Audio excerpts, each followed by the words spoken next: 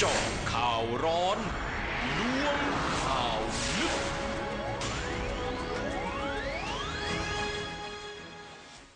เข้ามาในช่วงที่ 2 ของเจาะข่าวร้อนล้วงข่าวลึกกันแล้วค่ะคุณผู้ชมคะ หลังจากที่เว็บไซต์ไทย e-news นะคะ ได้นำเสนอข่าวลักษณะที่รณรงค์เชิญชวน ร่วมงานวันเกิดพันตำรวจโททักษิณชินวัตรในวันที่ 26 กรกฎาคมนี้นะคะ ภายใต้ชื่องาน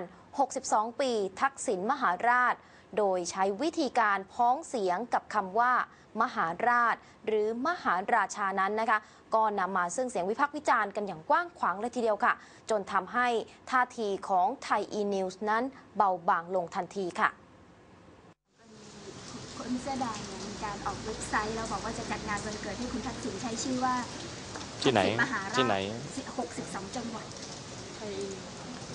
ยังไม่เห็นเลยครับไซต์ค่ะ ยังไม่เห็นเลยครับ ทีนี้การใช้คำที่มันเหมือนกับไปพร้อมกับคำที่มันดูสูงกว่าเนี่ยมันมีความเหมาะสมและบางควรหรือเปล่าเขาก็น่าจะรู้นะครับ คนจะทำอะไรก็น่าจะรู้ครับ คือที่ผ่านมาเนี่ยพรรคเพื่อไทยพยายามจะปฏิเสธมาโดยตลอดว่าไม่ได้มีปัญหาเกี่ยวกับเรื่องของเรื่องสูง แต่พอมันมีลักษณะก็ต้องถามพรรคเพื่อไทยว่าสนับสนุนไหมนะครับ ต้องถามพรรคเพื่อไทยว่าสนับสนุนไหมเพราะว่าเขาก็ใกล้ชิดกันครับ คือการใช้คำพ้องกันลักษณะนี้เนี่ยคงว่าผิดในทางกฎหมาย พอจะดำเนินการอะไรได้ไหมคะคง ผมไม่ยังไม่เห็นนะครับ แล้วก็ไม่ทราบเรื่องเรื่องว่าพ้องเสียงมันจะไปผิดกฎหมายได้หรือเปล่า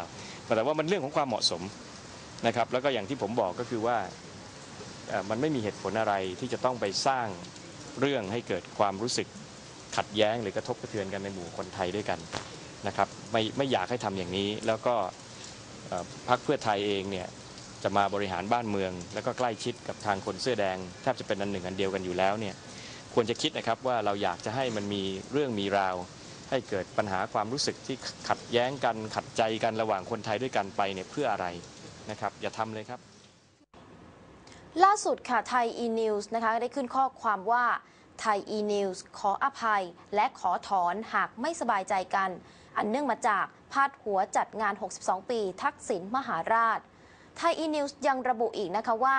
หากพาดหัวข่าวดังกล่าวของไทย e-news จะทำให้เกิดความไม่สบายใจใด ๆ ต่อขบวนการเสื้อแดง ก็ต้องขออภัยมาณโอกาสนี้ อย่างไรก็ดี นี่เป็นการสะท้อนลักษณะประชาธิปไตยแบบหนึ่งของคนเสื้อแดงสำหรับไทย e-news แล้ว เราไม่ใช่เจ้าภาพงานนี้ และว่าไปแล้วเราไม่ใช่ผู้นิยมคุณทักษิณมากไปกว่าประชาธิปไตย ดังนั้นการคิดอ่านจะตั้งชื่องานแบบใด หรือจะจัดไม่จัด ก็เชิญเป็นดุลพินิจของแต่ละท่าน กองบรรณาธิการไทย e-news ชี้แจงอีกนะคะว่า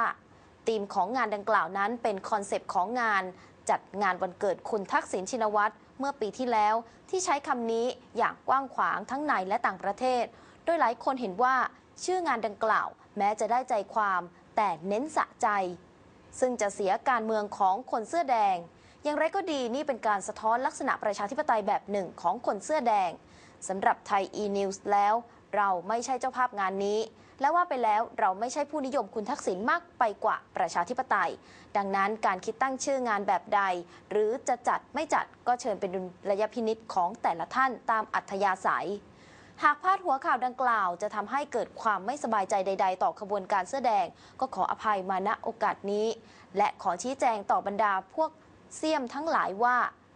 พาดหัวดังกล่าวไม่มีอิทธิพลทางใดทางหนึ่ง ทั้งทางตรงและทางอ้อมจากเจ้าของงานวันเกิด โปรดกรุณาเข้าใจตามนี้ คุณผู้ชมคะ การปฏิเสธสนับสนุนการจัดงานทักษิณมหาราชของไทย e-news ไม่ต่างไปจากการยืนยันว่าภายในการเคลื่อนไหวของคนเสื้อแดงนั้น มีความตั้งใจที่จะจัดงานนี้ขึ้นมา ซึ่งก็ถือว่าเป็นแนวความคิดที่หมิ่นเมต่อสถาบันพระมหากษัตริย์เป็นอย่างมากค่ะ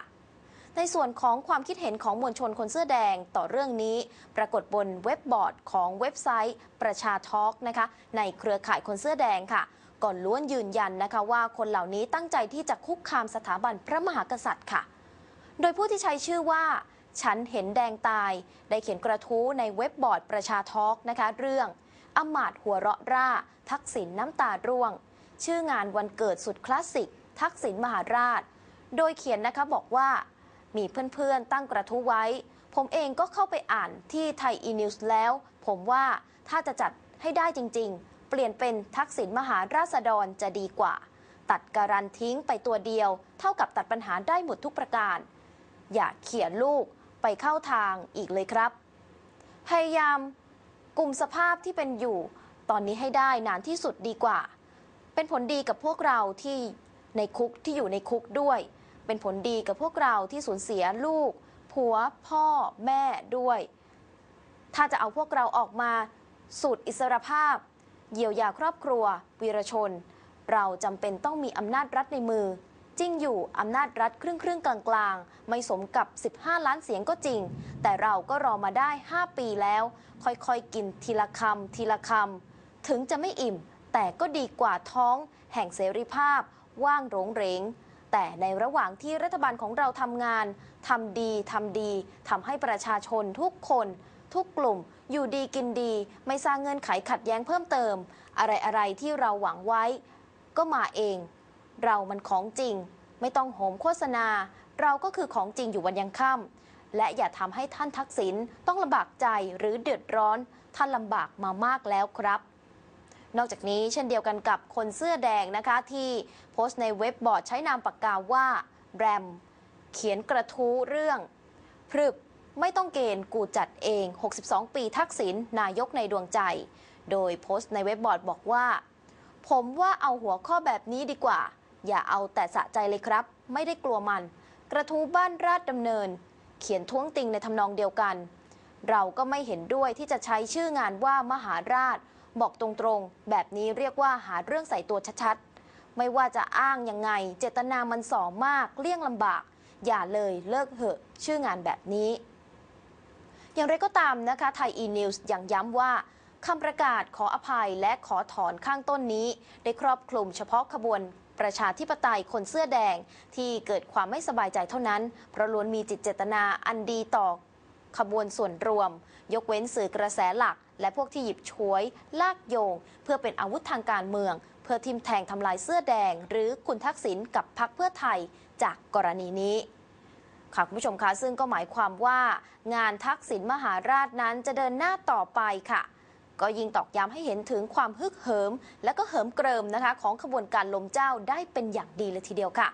เดี๋ยวช่วงหน้ามาตามกันต่อนะคะ ช่วงนี้ไปพักกันสักครู่ค่ะ จาะข่าวร้อนล้วงข่าว